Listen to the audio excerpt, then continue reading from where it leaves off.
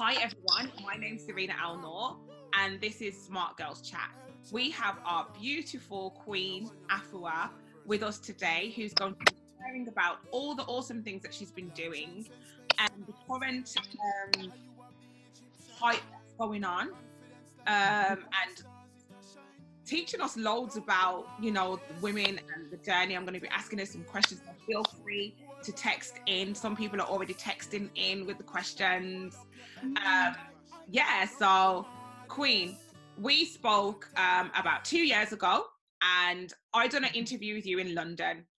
So it's an honor for you to be us to be interacting again so we can take this even further into another level.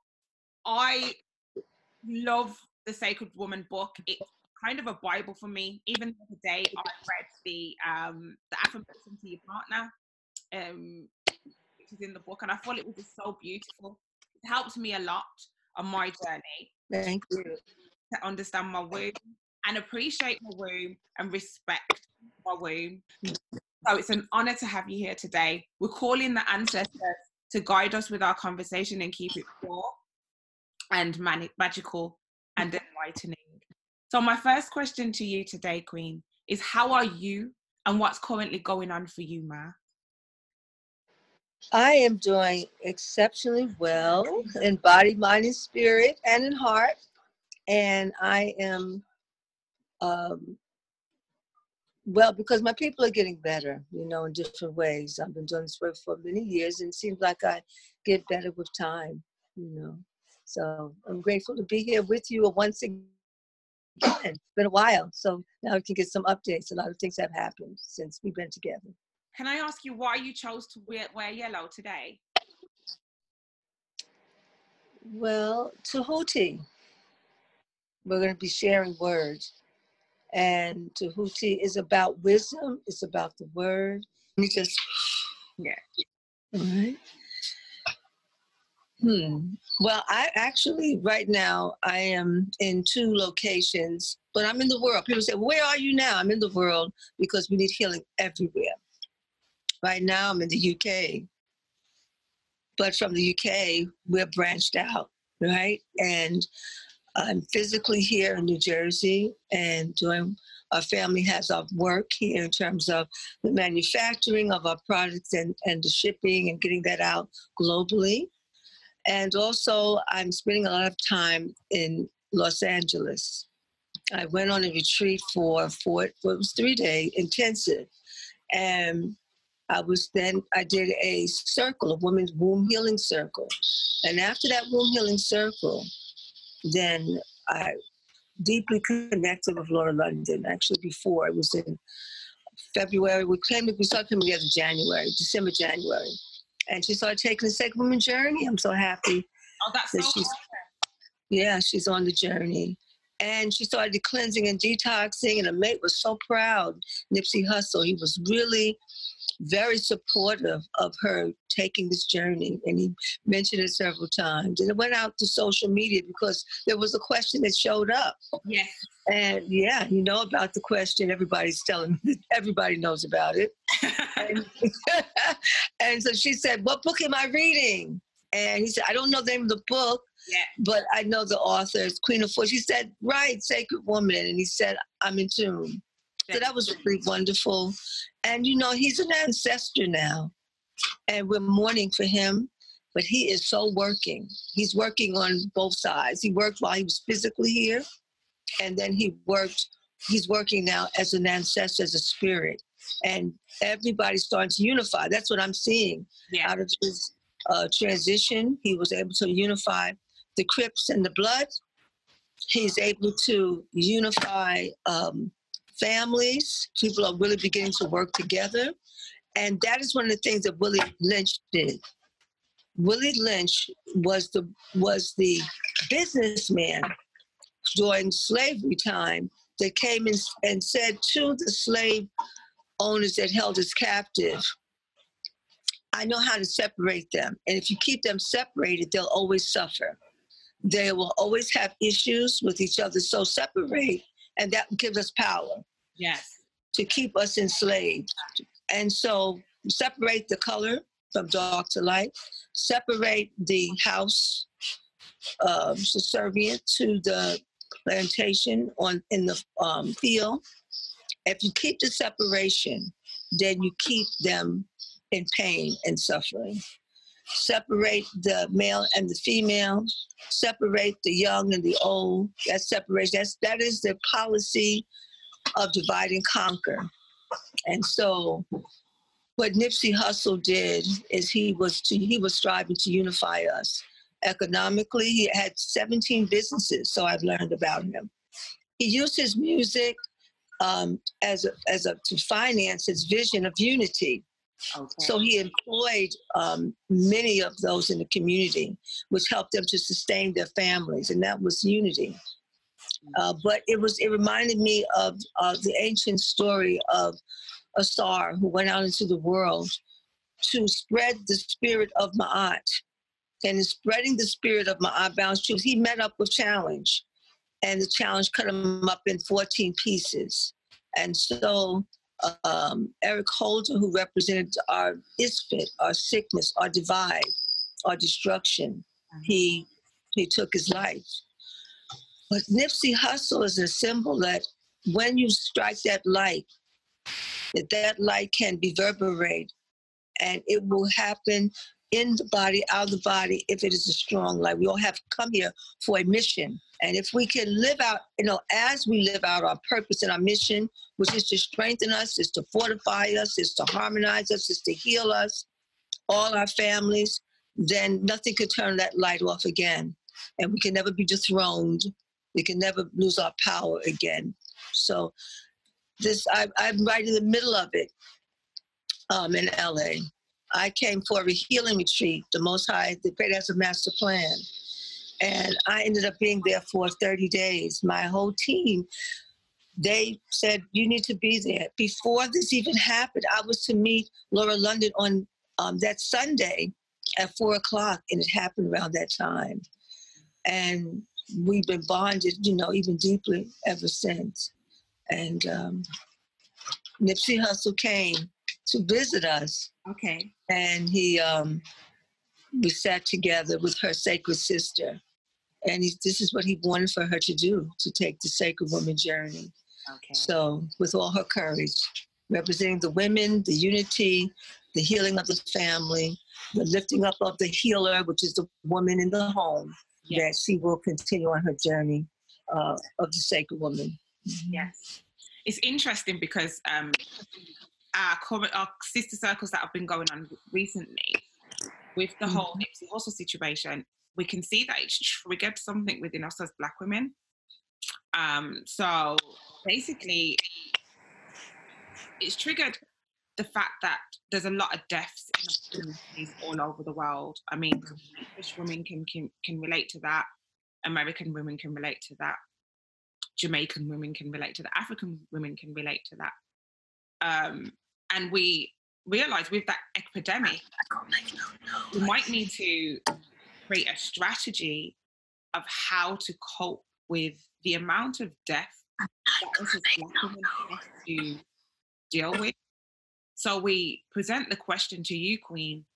How would you suggest that us as Black women can help us to cope with the amount of death that um, you know happens within our community? How can us as women remain strong within that mm-hmm. dynamic? Mm-hmm. Yeah.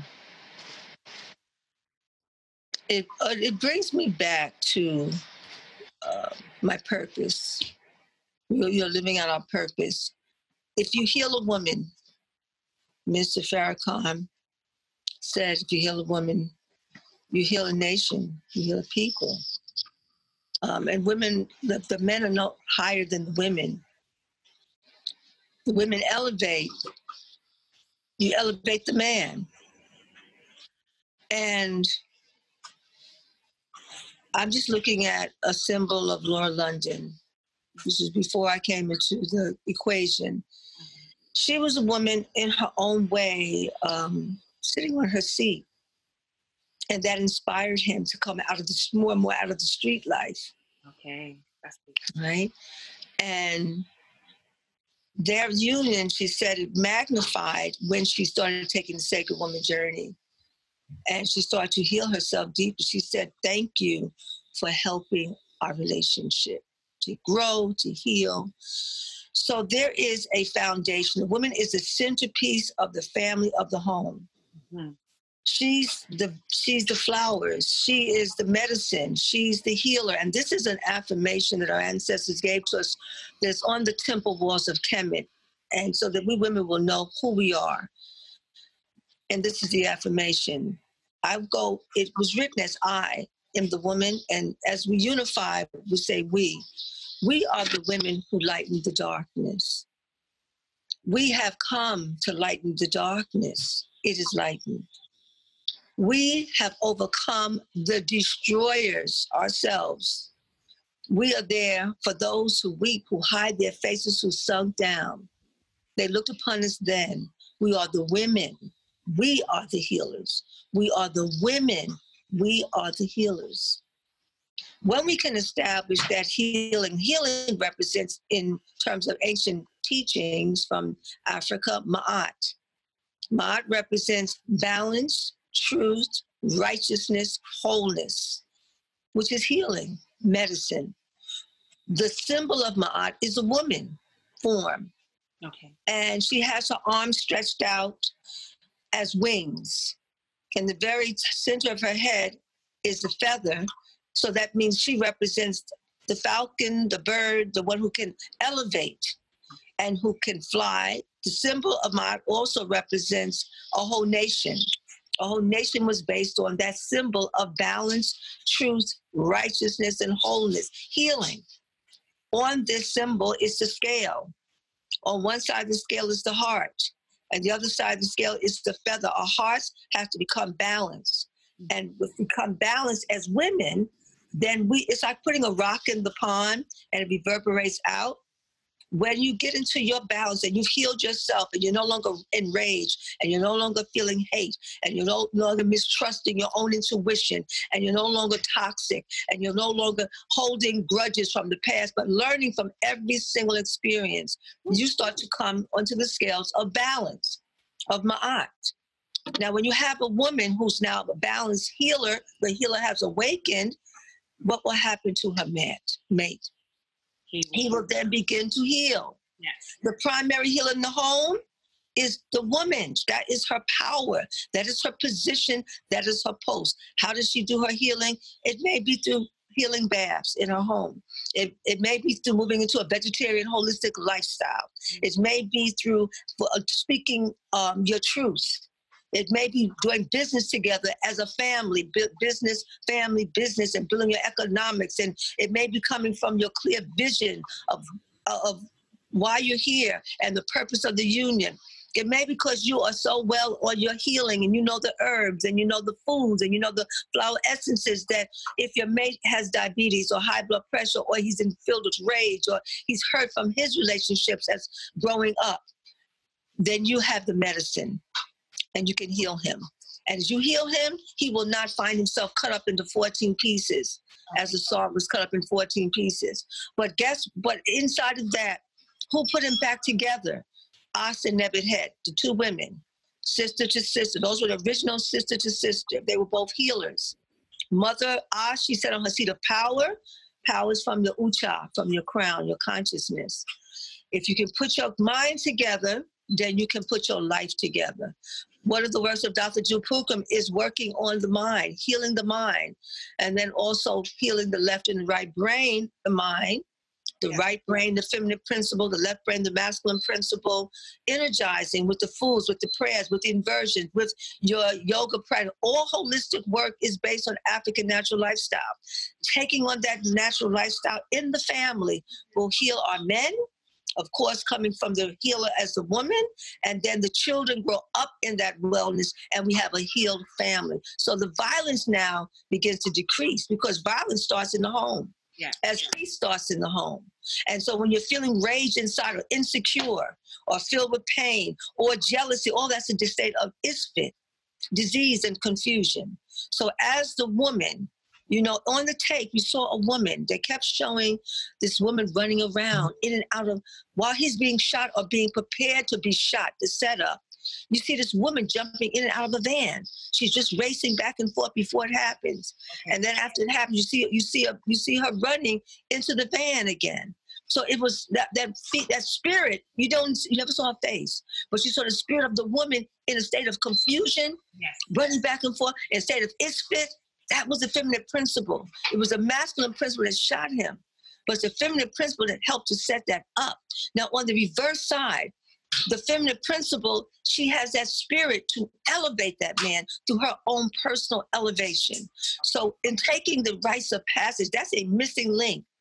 The rites of passage is to teach you how to be in family, how to reunite with your family, how to overcome the emotional, mental, psychological disease. That's from gateway to gateway to gateway.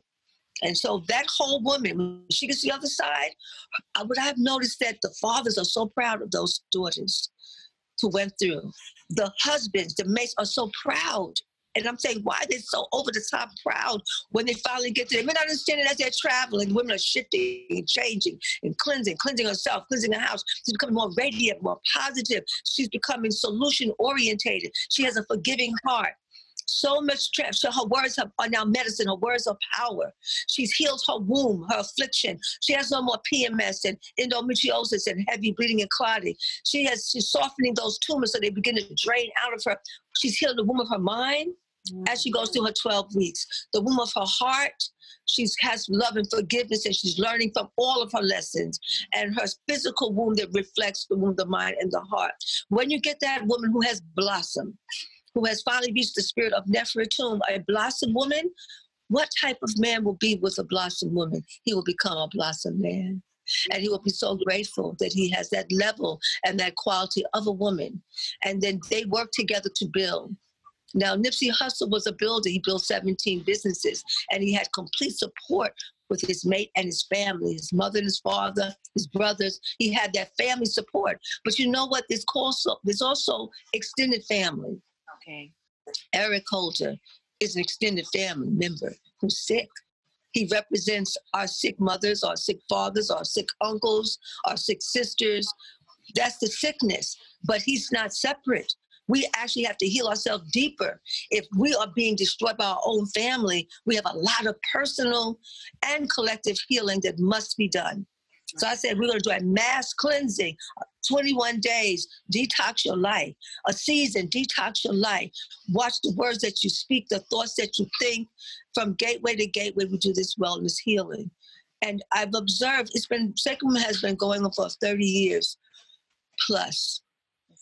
And now in September, we are preparing to birth Man Heal Thyself, Sacred Man, Wellness Warriors, uh, calling forth the healing juggernauts, the men who have been doing this work.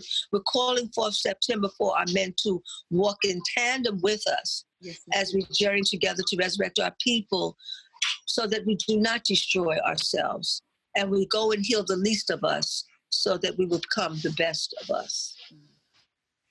Thank you, ma'am. For myself, what brought up um, the Nipsey Hussle situation brought up my um, first husband who passed away when I was 19. Say that again. My when the Nipsey Hussle situation um, mm-hmm. brought up my past um, trauma of my first husband passing away. He um, got shot six times here in mm-hmm.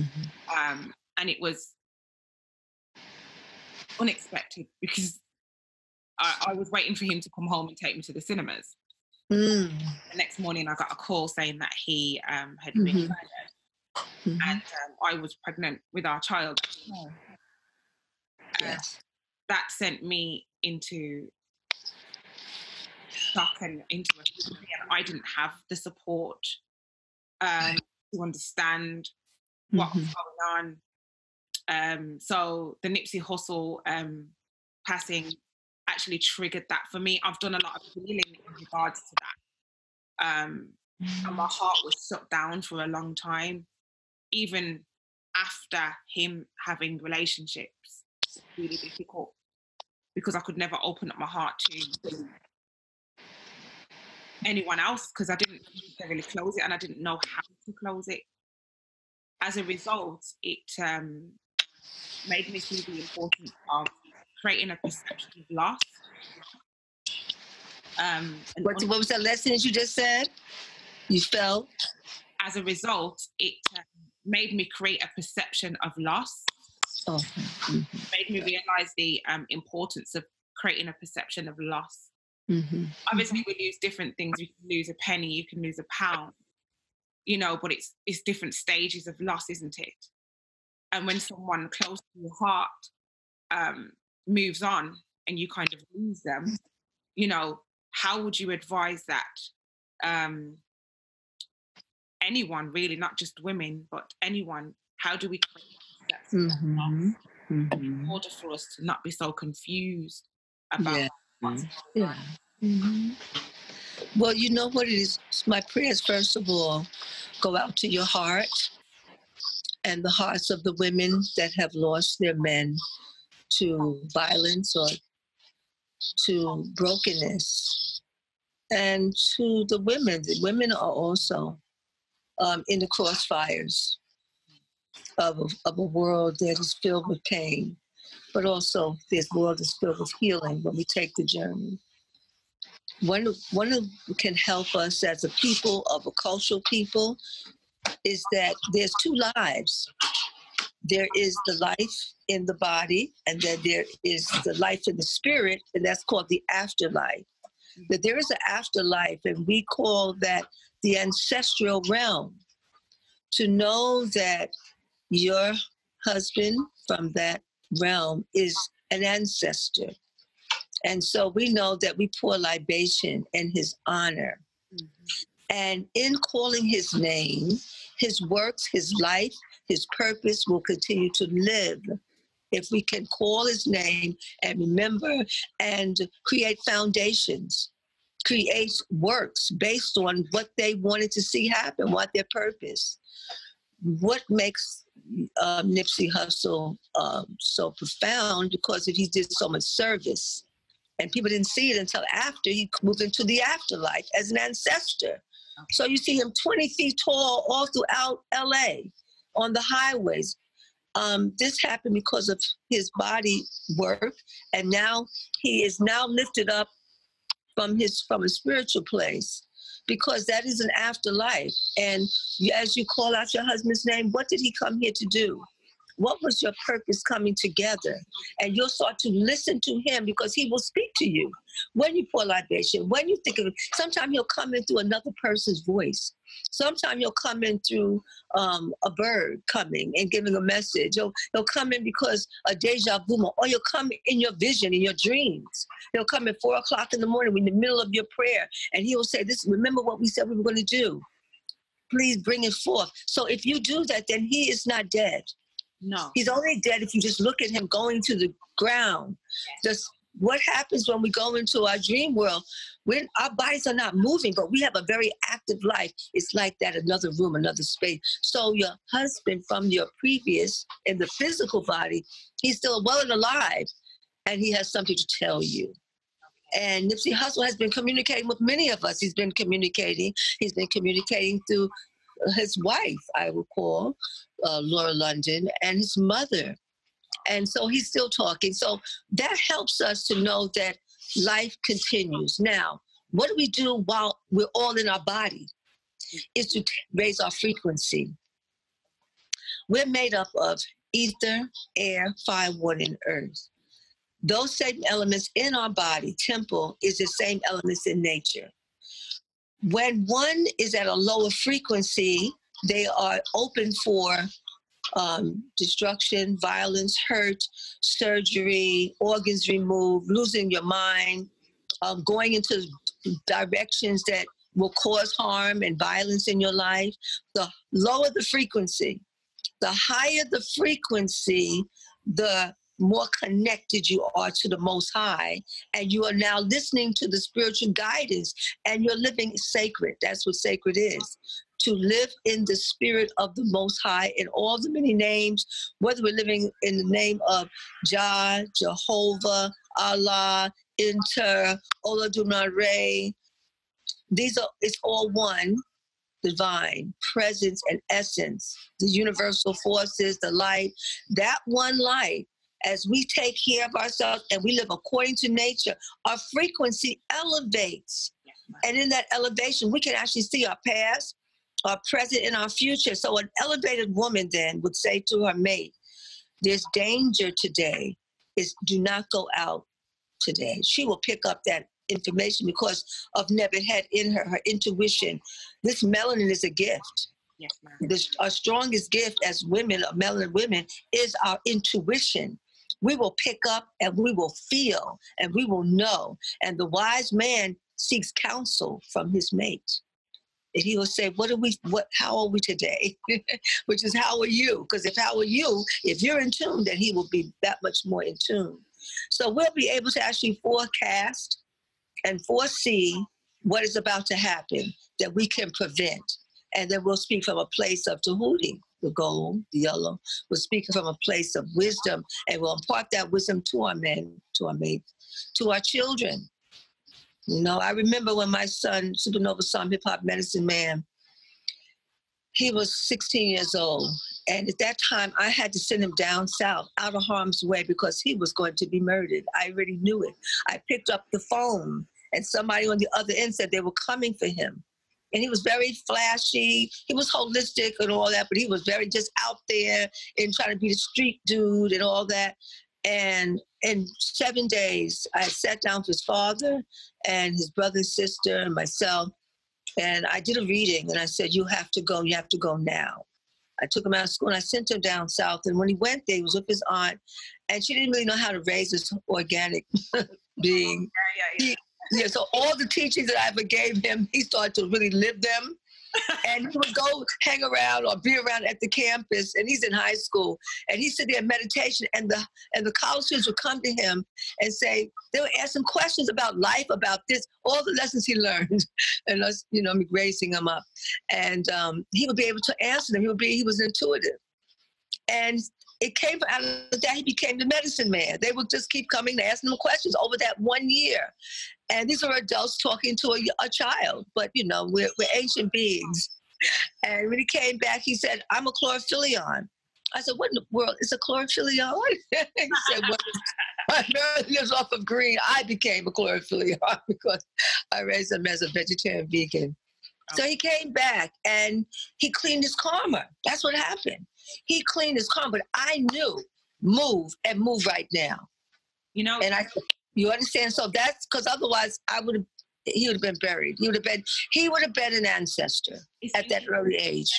I remember you actually telling me that story. Um, Ah, we spoke because you um I, obviously I'm I, I was from I'm from Birmingham but I was in London at the time and you were saying what am I doing here and I Mhm. remember explaining to you that my I'm not sure if you remember my son he's 15 he's 15 he's 16 now but at the time he was 15 and literally just got up from Birmingham and left